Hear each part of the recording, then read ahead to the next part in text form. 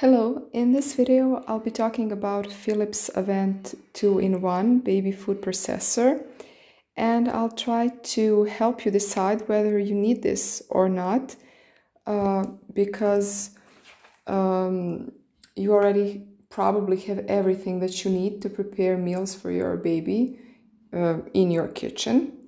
Uh, so uh, two functions are steaming and blending and as you probably know, steaming is better um, than cooking if you want more nutrients to stay in the food. Uh, if you use um, this type of uh, steam cooker, um, all the minerals will stay in the water, all the vitamins and minerals. And steaming is also good for proteins in the meat as they are not being damaged.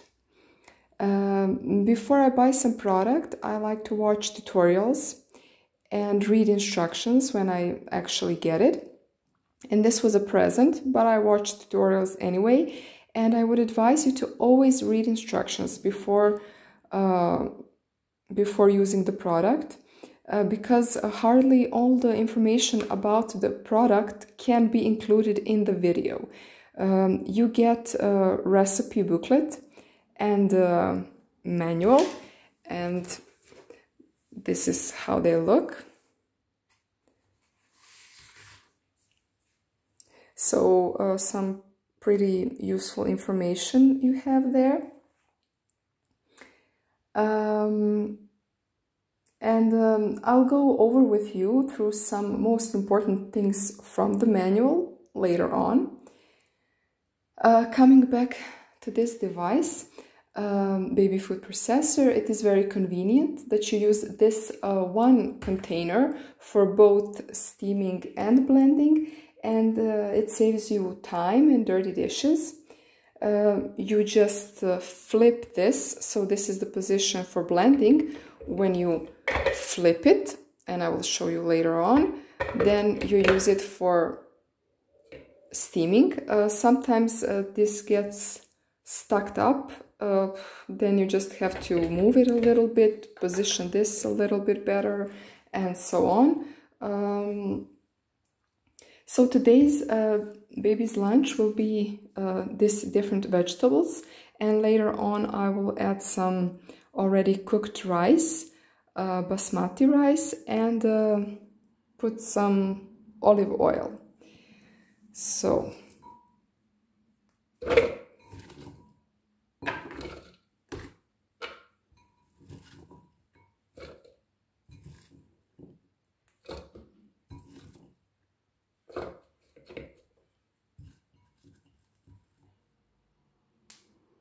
This is already a little bit too much.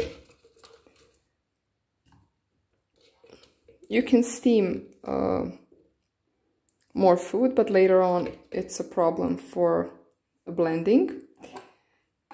And then you lock it down. Here um, you have the container which says you cannot see right now, but it says here you have uh, milliliters and here you have uh, minutes. So um, if you want to cook for 20 minutes, you will need to add 200 milliliters of water here.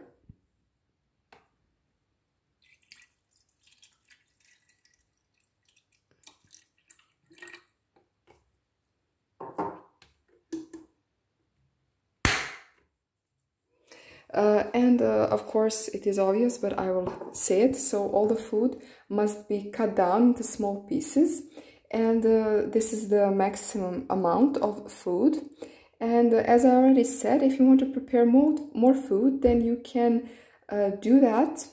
Uh, but I don't know whether that can have negative impact on device. It's just something that I do very rarely. Uh, you can steam the full container, so I could put this also, but it was a little bit too much. Um, and then when it comes to blending part, then the amount of food is limited because it will simply not blend. So you can do it uh, twice. So uh, when uh, we have uh, closed it, we flip it like this. That's the position for steaming. And we turn to the left for steaming. It will cook for, uh, actually steam for 20 minutes. And um, so depending on type of ingredients, uh, you will steam from 5 to 20 minutes. And uh, in manual, you have tables saying how many minutes particular food needs to be steamed. Um, so it is here. You have uh, different languages, of course. So here is the table in English. Um, so for fruits, you will need from 5 to 15 minutes, uh, mostly 5. Uh, and um, so this is the recipe booklet. Uh, what I'm preparing, it's not from there because this recipe booklet is uh, quite limited, I'd say. Uh, it doesn't even say um, anything precisely, just some recipes just to demonstrate how the device is working. It will not actually help you when it comes to baby's food. And um, of course, uh, there are many fruits and vegetables which are not included um, in the table that I just show you. So you will just have to try out different steaming time. But mostly for fruits it's 5 minutes and for vegetables uh, 15 or 20 minutes. And uh, I don't know what the recommendations in your country are, but you should uh, give fresh fruits uh, as soon as possible. Uh, I've done that when baby was 8 months old. Um, because of course even steaming uh, will destroy uh, most of the stuff that's good in it and um, surely uh, you will combine veggies um, or veggies and meat for which uh, steaming time is different for example, carrot and chicken. For carrot you need uh, 15 minutes, it says so here. And for chicken you need 20 minutes. Uh, you have two options.